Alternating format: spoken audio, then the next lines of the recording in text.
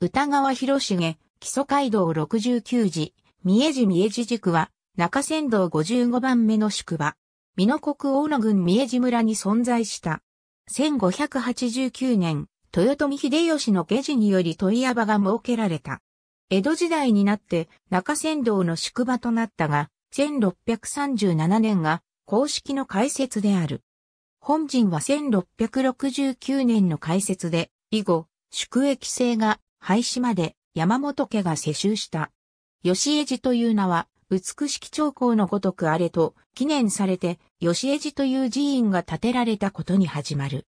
719年創建の十一面観音を本尊とした寺院。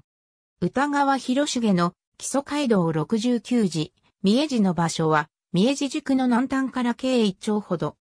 描かれている川は、西川と推定され、この辺りは、海から約 50km 離れているにもかかわらず、海抜は約10メートル、とても平坦で坂があるのはここくらいである。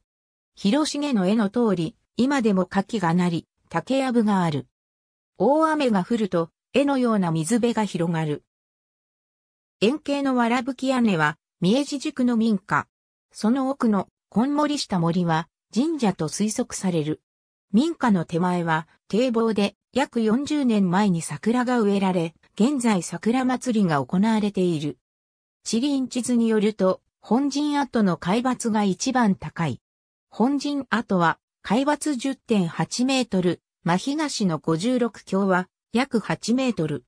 あざなど、14条、重里、吉江寺、17条、18条、19条、牛巻は自然堤防の上に集落ができている。昔から水害に悩まされた地域だからである。雨水は南方よりも東方へ、西川でなく56川へ流れる。三重自粛跡の石踏み。ありがとうございます。